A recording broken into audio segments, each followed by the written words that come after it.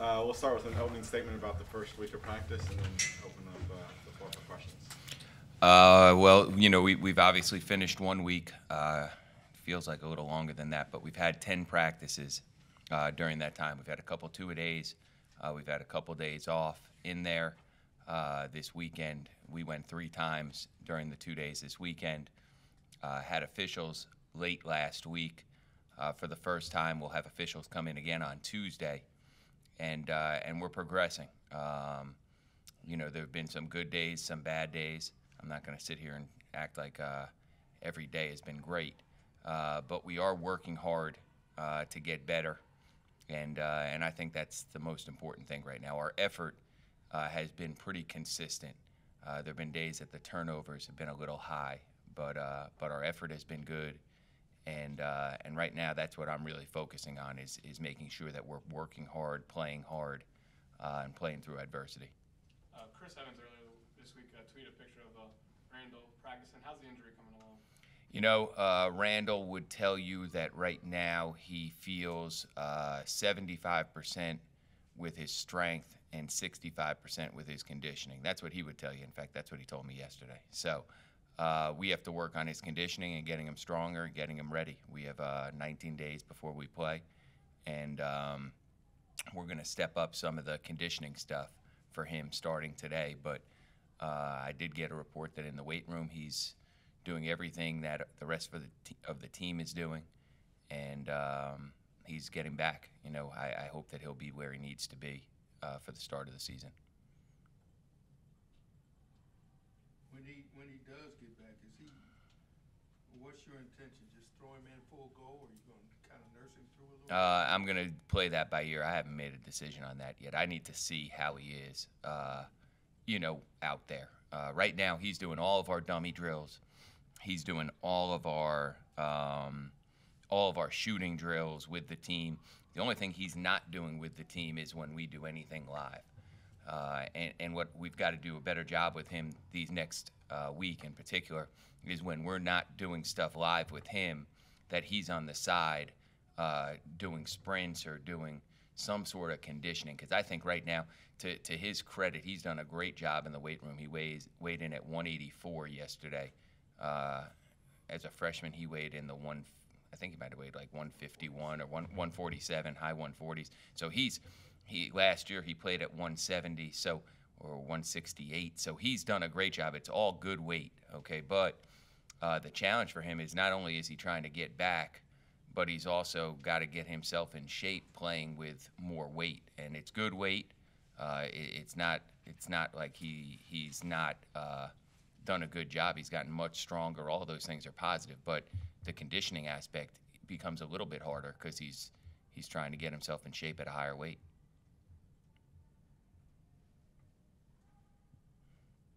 Just Randall today, huh? Chris is doing well.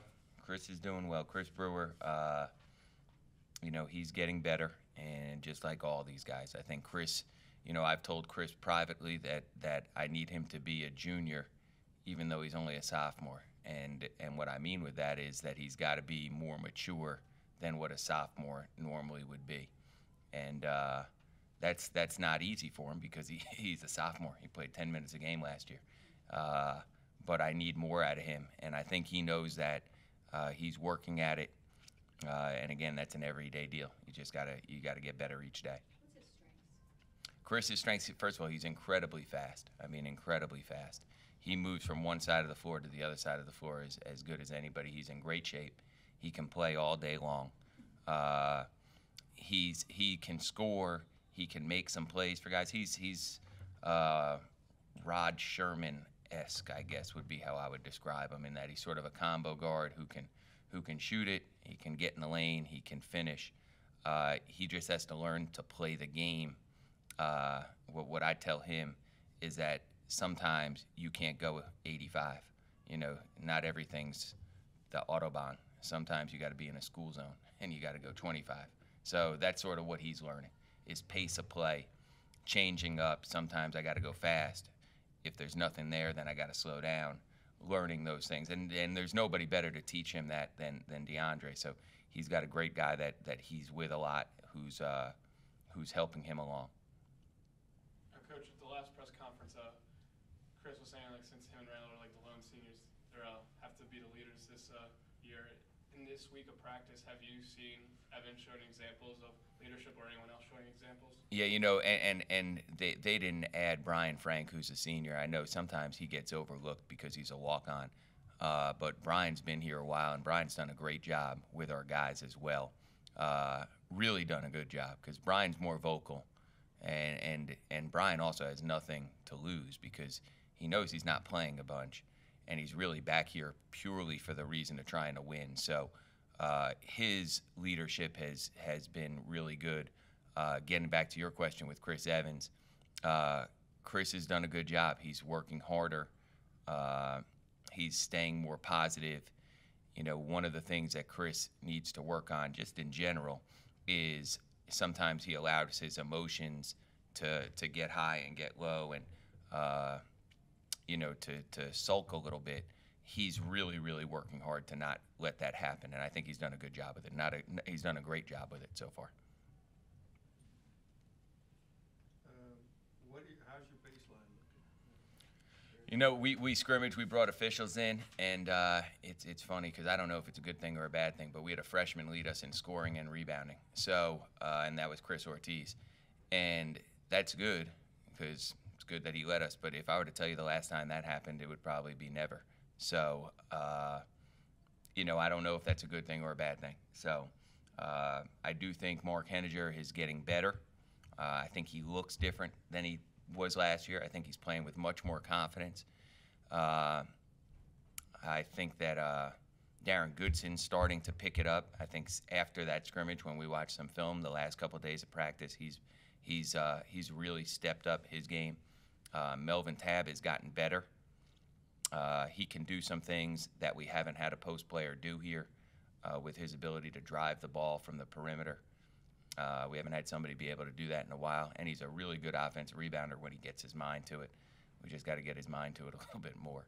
Um, so that we're progressing. You know, the the thing about him uh, is that there's five front court guys: uh, Khaliq Spicer, Chris Ortiz, Melvin Tabb, Mark Henniger, and Darren Goodson. Those five are the guys that'll play up front. Uh, you know, the only one with experience is Mark and uh, and all of them will be here for this year and next year. So, you know, I think we'll continue to get better. I think each of those guys has some strengths, and uh, you know, each of those guys is, is working hard to, to prove that they should play.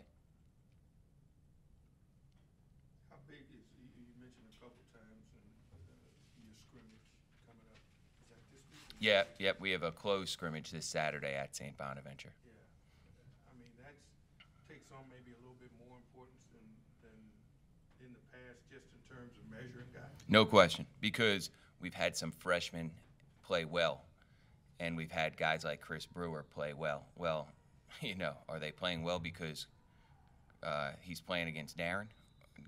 Chris Ortiz playing good because he's playing against Darren Goodson? Is Henny playing good because he's playing against Khaliq Spicer? Or is Henny playing good because he's gotten better? I'll find out much more on Saturday. Uh, you know, Chris Brewer and uh, Bryson Pope have been running the point along with Kellen Thomas. Uh, be interesting to see how they're able to handle it with other guys because I don't know if they're pressuring each other as much as they're going to get pressured on Saturday. That's what we. That's that's that's the benefit of it, and that's why it's you know that's why those things are important and more important this year than any time that I can remember because last year, you know, we knew guys. I mean, we knew Justin Greene could play. I knew when he played against St. Bonaventure, he was going to be ready to play. Not just ready to play. Let me take that back. Was going to be effective. You know, whether he played well or didn't play well. You know, some games you play well, some games you don't play well. Guyton, Porrini, all those guys, we knew they could play. Uh, these guys, you know, I go back every night and, and I wonder is are are they good or are we just good against each other? So Saturday will be the first time that we get a chance to at least get an idea. Yeah, yep, and that's closed. It's it's a you know it's one of those things. Uh, the NCAA allows you to have. Uh, I think you could do two of them. You're allowed two scrimmages. You could either play two exhibition games. You could do one and one. You could do two close scrimmages. I think uh, i- i- our thought process in terms of how why we do what we do is the scrimmage is more uh, beneficial in my opinion. Uh, in that we're not going to just play 40 minutes. We'll play probably 50 minutes, and we do a bunch of situations which are really good. Um, but at the same time, I don't want the November 9th when we open up to be the first time our guys have uniforms and the first time our guys play in front of a crowd. I know the crowd isn't the same as it is for a regular season game, but you still have to put uniforms on. You still have to go through layup lines. Uh, there's, you know, different lights. It's just different. You know, there's popcorn, popkin.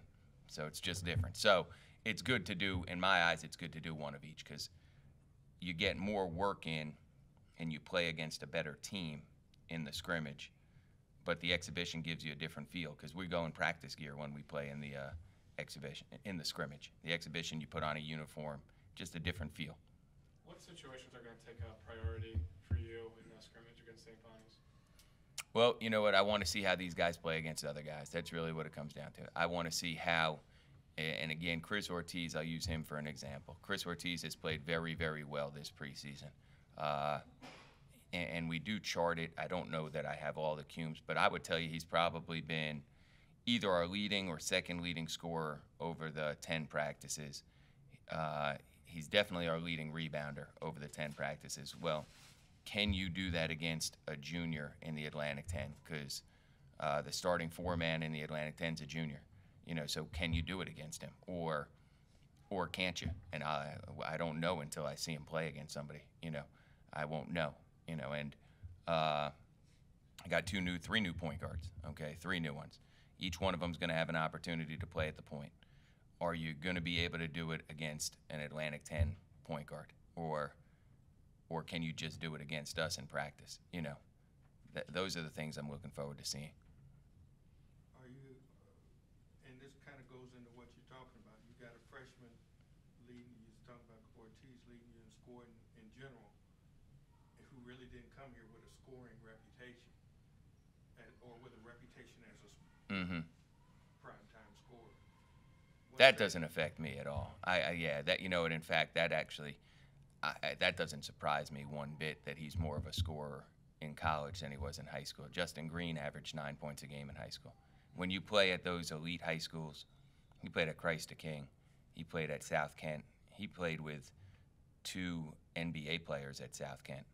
You know, so you're not gonna uh, be the prime guy. When you played at Christ the King, he played with a McDonald's All American. So that doesn't surprise me one bit. That's not the issue. The issue is can you do it again? Like to me, the fact that he's scoring here, I'm glad. But the issue to me is can you do it in a game when it when it matters? You know, uh, and we've had guys in the past that have done great in preseason, and then the lights go on and it's different. You know, we've had guys that they need to play in a game before you see what they do. I, I tend to think Darren Goodson's that type of guy. I think he's going to be much more effective against other teams than he is against our team when everybody knows what he's what he can and can't do. I just think there's a lot of a lot that goes into that stuff. What all can you, uh, post scrimmage, cause I forget the rules how they go. Yeah. What all can you, feedback can you give back us? And wha- Limited. I don't know the answer know to that. I Yeah, I really don't know. You Do you know? we Ty- can't see film, and I know we can't do, Can't do film. I don't think we can give you stats. I think I could discuss things with you. yeah. You know, I could discuss how we played, but I don't think I could give you stats. Off the record, though, Elton, maybe I'll give you some stats because I know you're going to badger me like you wouldn't believe. You know it's gonna start yet? You know what? I don't. I don't. I uh, we're gonna bring officials in on Tuesday, uh, and uh, that's tomorrow. And Wednesday, you know, we'll have to make some decisions on on that uh, leading into Thursday, Friday's practice. We'll probably put uh, a core group of seven or eight on one team for Thursday and Friday. We've really split it each day. Uh, I've had Chris Brewer and Bryson Pope play against each other in the 10 practices, probably eight of them. Um, today they play against each other. Yesterday they played together. But um, Thursday, Friday, I'll probably put them on the same group leading into Saturday because we're gonna have they're gonna have to play together for minutes. It's not gonna be a 20 minute one 20 like in a 40 minute game. It's not gonna be a 20 minute one 20 minute the other. They're probably both gonna play 25 minutes. So there's gonna be 10 minutes that they play together. So I got to get them used to playing together. So Thursday's when we'll probably do that. But there are some spots that I'm not sure about who I'm going to start uh, on Saturday. So um, I'm going to look at both scrimmages, what we did last Thursday, uh, what we do tomorrow, and sort of come up with in my mind who will start on Saturday. But to me, that's meaningless too because I still have another week of practice, another exhibition game, and then another week of practice uh, before we play Drexel. So who starts this Saturday could be very, very different than who starts two Fridays from from now. Is it safe to say then that, like, in terms of right now, the only two with an assured spot is Evans and Randall, and maybe not even Randall, depending upon who. Yeah, well, Randall's not playing on Saturday. I know that. I'm talking about going into the. Yeah, going into the season, Right now, like where you're at right now, heading into the season, and we had to say, as far as starting, mm-hmm yeah, yeah. Chris Evans is starting. That I know. That's the only one. If Randall can play, Randall's starting. If Randall can play, he's starting. Unless Randall were to tell me, hey, coach, bring me off the bench, me and him will have that conversation, you know, probably two days prior to us playing Drexel. You know, he may say, if, if he feels, if he wants to do that, then me and him will talk about that. So there's three jobs up in the air in general. Well, three in my mind. Mhm. okay, I think we should Yep. start with Randall is gonna play. Assume Randall plays, there's three spots a point guard spot, four, and five. And you were talking about uh, Brewer and poking at each other, and I mean, play each other in practice. So Brewer's kind of a quicker guy, and Bryson's more of a bigger guy. So Yeah. that matchup look at practice? It, it, it, you know what? There's days that uh, Chris Brewer plays better, and there's days that Bryson plays better. They, they, those two. That's been a good competition, and they've been, uh, they've also played together some, and they're both, uh, you know, they both could play together. Both they, they could both play together a lot. In fact, I, I expect them to both play together a lot. Uh, but for the most part, they've gone at each other, and there's times that uh, KB does things. Di- they're both very different players. So there's things that KB does better, and there's things that Bryson does better. Uh, but they're both competing hard, uh, which is the most important thing. I almost see that position as like a quarterback position where when you've got two guys that do different things, they can really benefit you throughout the year so that maybe there's not necessarily one starter because against an opponent you need fast or against another opponent you need big. Yeah, I think that's more during the game. You know, not you know like So not yeah, I'm not going to be rotating who starts unless one guy can't doesn't play well and the other guy.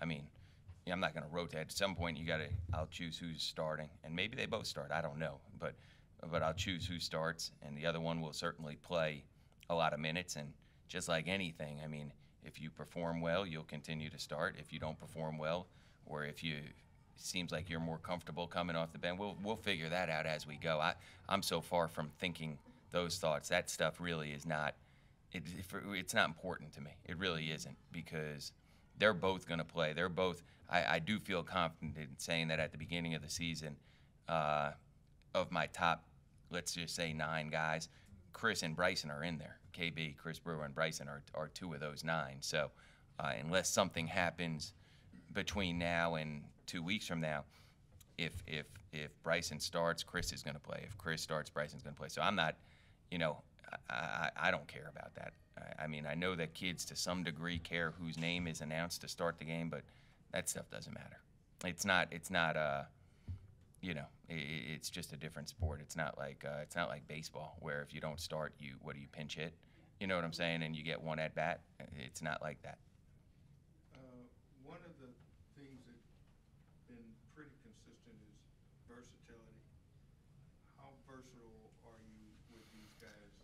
You mentioned Bryson and this and. Yeah, you know, I think that yeah, yeah, I think that is a strength, Elton. I do think that's still a strength of our of our group because uh, Bryson, when they played together, and, and and this was just the last couple days in practice, it was those two, Bryson, Chris, Dev, and Chris Evans. For the last two days, those four have played together. When uh, Chris Brewer, Bryson, and Dev are on the floor, Chris Brewer's played the point, Dev's played the two, and Bryson's played the three. When Chris Brewer, Bryson, and Chris Evans are on the floor, Bryson's played the one, Chris Brewer's played the two, and Chris Evans has played the three. You know, when Bryson, Dev, and Chris Evans are on the floor, Bryson plays the one, Dev plays the two, Chris Evans plays the three. When Chris Brewer, Dev, and I think I've given you all the combinations now. When Chris Brewer, Dev, and uh, Chris Evans are on the floor, Chris Brewer plays the one. So I've had Bryson play the one and the three. I've had Chris Brewer play the one and the two. Dev has basically just played the two. Chris Evans has basically just played the three. Those things don't matter. Like in our system, I don't want to say they don't matter. They matter. You have to learn different spots, but you you, just got you got to play. you know what I'm saying? You got to play. Inside. Inside, the only person that has had to sort of learn multiple spots would be Melvin Tabb. Bryson's comfortable wherever. You know what? The one thing about Bryson, he, the, the I've said this before. I, I think, I hope I'll keep saying it. He's sort of unflappable. He just sort of plays. So, if I throw him some, not that he doesn't make a mistake here or there, but he's comfortable. And what we've tried to do this year, uh, you know, and I hope that it's effective, is we've tried to make it as simple as possible to where um, it really doesn't matter what perimeter spot you're at. The, the, what you're doing is basically the same. I was gonna ask you about the offense, because I think at times it's perceived to be complex. Yeah. You've got a bunch of young guys, you know, you almost, I wondered how much you felt like you had to scale back. Yeah, it's not scaled back. We've tried to make it more, we've tried to make it simpler in, in our approach. So you can. can, be simple without- yeah, yeah, I think so. Uh-huh. Yeah. You, you mentioned Tabb has only got, Goodson's not, Well, Darren's just one. playing at the four. Yeah. Now, if I, if we were to play big, there's a set that we have that he can play that it doesn't that all the baseline guys don't matter. But I don't know how much I want to play that set. You know how much I want to do that right now. So right now he's focusing strictly at that spot. Darren.